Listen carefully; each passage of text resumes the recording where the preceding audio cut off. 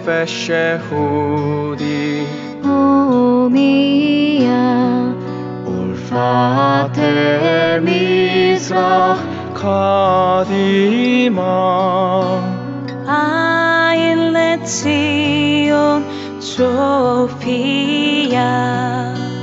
utro avda tikvateh.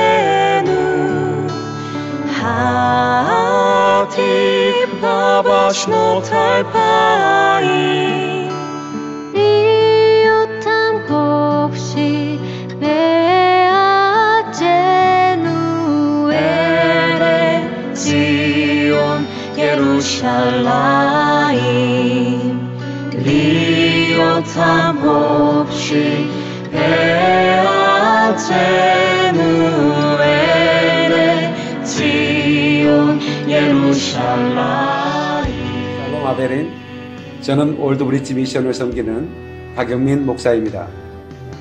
헤르조브 대통령님의 제11대 이스라엘 대통령 당선과 취임을 진심으로 축하드립니다. 수많은 한국 교회 크리스천들이 이스라엘 지지하며 그리고 이스라엘을 축복하고 있습니다. 그 모든 마음을 모아 축하의 꽃다발을 전해드립니다. 저는 개인적으로 해조그 대통령님께서 주이시 에이전 총재로 계실 때 코프소 알리아 작전을 섬길 수 있게 돼서 굉장한 영광으로 생각하고 또 하나님께 감사하고 기쁘게 생각합니다. 앞으로 저희는 예, 이스라엘 백성들이 고토로 귀환하는 모든 일들을 기도하면서 계속해서 섬길 것이고 또 이스라엘을 축복할 것입니다. 많은 한국 교회 성도들이 이스라엘을 사랑하고 이스라엘에 지금도 종일종이야 기도하고 있습니다. 하나님께서 이스라엘을 눈동자처럼 지켜주실 것입니다.